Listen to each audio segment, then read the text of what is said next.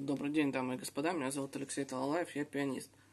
Сегодня мне поступило несколько вопросов от Юрия Вячеславовича, коммуниста из Москвы. Он задает мне такой вопрос простой. Э, кто спонсирует э, конкурс э,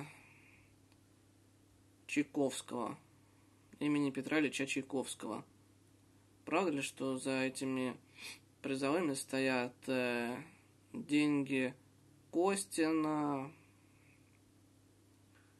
из ВТБ его Бортникова, его сына, его, и они решают, кто будет участвовать, кто будет выступать в залах, на кого продавать билеты. Правда ли, что э, и Московский дом музыки, Спиваковой, в консерватории, в филармонии, везде руководителей, директоров, начальников, Соколова и всех – назначает руководство исполнительной власти с партией «Единая Россия». Да, это правда. И они же дают деньги на этот конкурс.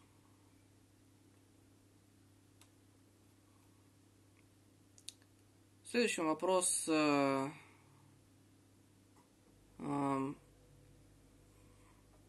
рассказать о 18-й сонате Муцо Клементи. Что я в ней услышал? Почему она называется 18-й, если намек на эм, бесконечной жизни, или это морской крюк, который вам пришвартовывают корабль лодку, или корабль. Трудно сказать. А, я не очень разбираюсь в бушпритах и дирекфалах, мачтах, корабельных снастях. Я не Джек Лондон. То он плавал, он все знает. И он об этом писал. А я могу только сказать, что я услышал как, какую музыку. Мне показалось, эта соната, как говорит правильно Иван Глебович Соколов, Баркарола, только большая, и она загадочна. А мне кажется, что это не просто корабль, а какой-то великий корабль или даже самой жизни, да, рассказ. Но если это корабль, то он на нем плыл кто-то великий. И плыл он очень далеко.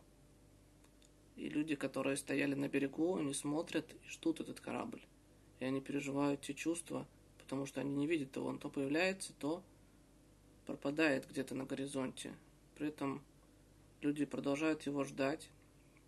Рано или поздно он куда-то исчезает. Проходит время, но люди продолжают надеяться, ждать. И в конце, что самое интересное, он появляется снова.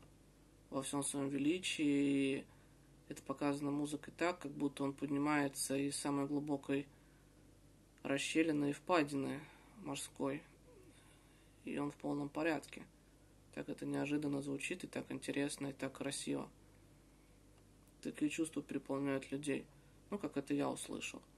Может быть, кто-то поймет это как-то иначе, как-то трактует. Но для меня человек, который никогда не играл, не слышал, не слушал 18-ю сонату, 18-ю работу музыкальную от Клементи. Он ну, не понял жизнь, наверное. Или не понял ее смысл, я не знаю. И потому что здесь больше, чем просто корабль, да, здесь не скитание души, да, но, но о том, что Душа не может покинуть человека навсегда, она все равно вернется к нему. Здесь о вечном. Это для меня это великая музыка. Такая же великая, как четвертая соната Семена Бармотина или как а, ромажорная соната Моцарта. Кто эту музыку не слышал, тот, э, наверное, вообще не слышал музыки. Поэтому Юрий Вячеславович. Спасибо за вопрос.